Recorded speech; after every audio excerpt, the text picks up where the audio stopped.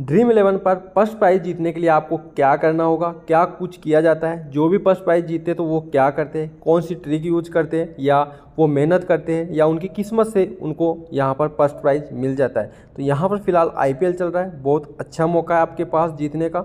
यहाँ पर पैंतीस करोड़ तक के इनाम यहाँ पर देखिए, बहुत बड़े बड़े इनाम दिए गए। तो आपको क्या करना होगा? फ़र्स्ट प्राइज़ लाने के लिए आपको मेहनत भी करनी होगी, आपको ट्रिक भी यूज़ करनी होगी और थोड़ी बहुत आपकी किस्मत भी हो तो आप यहाँ पर फ़र्स्ट प्राइज़ जीत जाते हैं।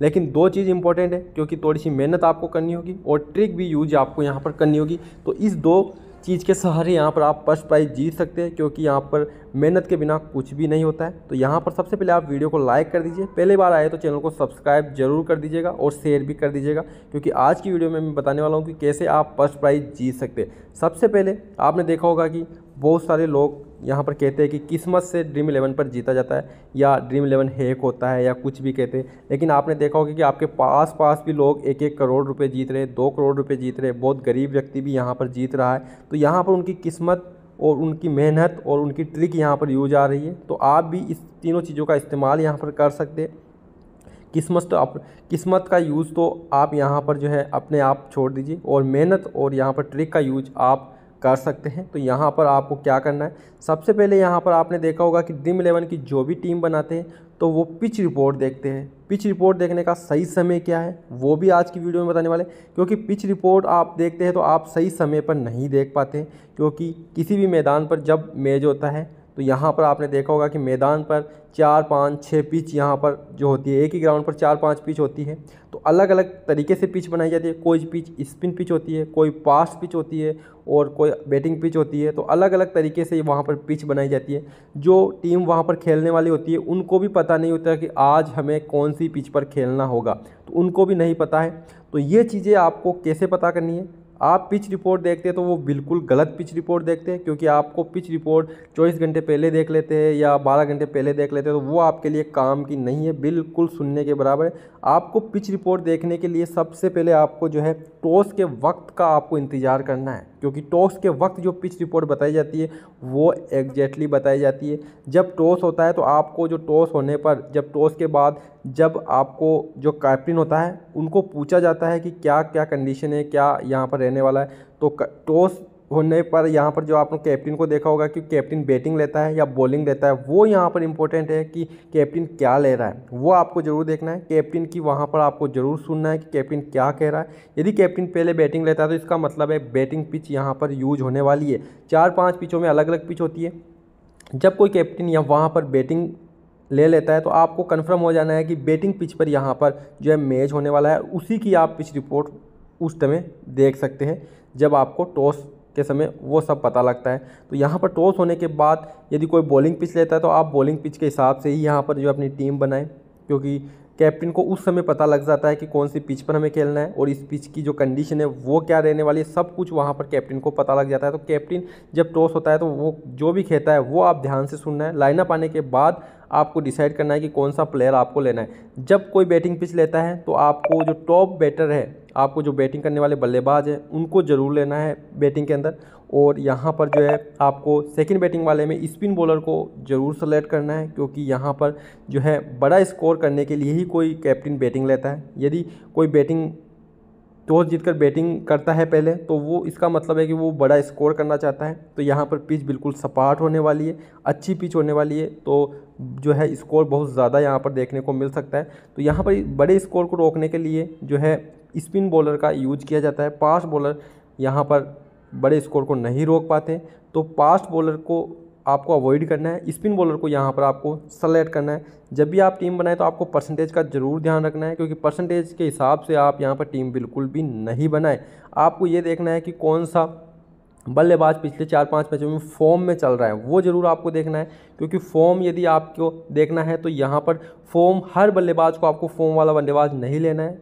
पूरी टीम के अंदर चार पाँच बल्लेबाज ही ऐसे लेने हैं जो कि फॉर्म में चल रहे हैं। बाकी आपको बड़ा प्लेयर लेना है जो कि खेलने में बहुत ज़्यादा सक्षम है। इस बात का ज़रूर ध्यान रखिएगा। खेलने में बहुत ज़्यादा सक्षम है, लेकिन लोगों ने उसे कम ले रखा है। यानी कि बहुत कम परसेंटेज वाले लोगों ने उसे ले रखा है। तो उसको आप यहाँ पर सेलेक्ट ज़रूर कीजिएगा, क्योंकि वो हमेशा यहाँ पर अच्छा बैटिंग कर सकता है। यदि बैटिंग पीछे है तो उसको आप ज़रूर यहाँ पर सेलेक्ट कीजिएगा। वो आपके लिए परफेक्ट हो सकता है। जब भी आप यहाँ पर बैटर ले तो यहाँ पर आपको जो है टॉप बल्लेबाज को ज़रूर लेना है। यानी कि जो ओपनिंग करते हैं, फ़र्स्ट डाउन आते हैं, सेकंड डाउन आते हैं। चार बल्लेबाज को आपको लेना है, क्योंकि ये आपके लिए बहुत ज़्यादा इंपॉर्टेंट होते हैं। उनकी बैटिंग आना बहुत ज़रूरी है, क्योंकि उन बल्लेबाज की बैटिंग आ जाती है, लेकिन यहाँ पर छः सात नंबर पर जो भी बैटिंग करता है, उनकी बैटिंग आना यहाँ पर कंफर्म नहीं है। तो आप, यदि उनकी बैटिंग नहीं आती है तो आप वहीं हार जाते हैं, आपको कुछ भी नहीं मिलने वाला है। जब आप टॉप तीन या चार बल्लेबाज यहाँ पर ले लेते हैं तो उनकी बैटिंग आना हंड्रेड परसेंट है कि उनकी बैटिंग तो ज़रूर आएगी, और वो रन भी यहाँ पर बनाएँगे। ऑलराउंडर सेक्शन पर भी आप पिच के हिसाब से ही सेलेक्ट करें कि ऑलराउंडर को लेना है या नहीं लेना है। तो ऑलराउंडर ले तो आप स्पिन ऑलराउंडर को ज़रूर लें, क्योंकि स्पिन ऑलराउंडर आपके लिए बेहतर हो सकता है और अच्छी फॉर्म यहाँ पर दिखा सकता है। तो यहाँ पर टीम सेलेक्ट करने से पहले इन बातों का आप ज़रूर ध्यान रखिएगा, क्योंकि ये आपके लिए बहुत इंपॉर्टेंट होता है, ठीक है?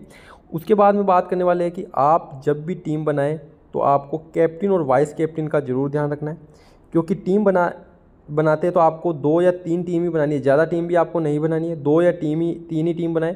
टीम लगभग सेम ही रखें आप, क्योंकि आपने जो है टीम बनाई है, वो बेहतर टीम बनाई है। सेम टीम रखें, लेकिन कैप्टन और वाइस कैप्टन को आप चेंज कर दें। हर टीम में आप कैप्टन और वाइस कैप्टन अलग अलग सेलेक्ट करें, ताकि आपकी टीम जीतने के चांसेस ज़्यादा हो।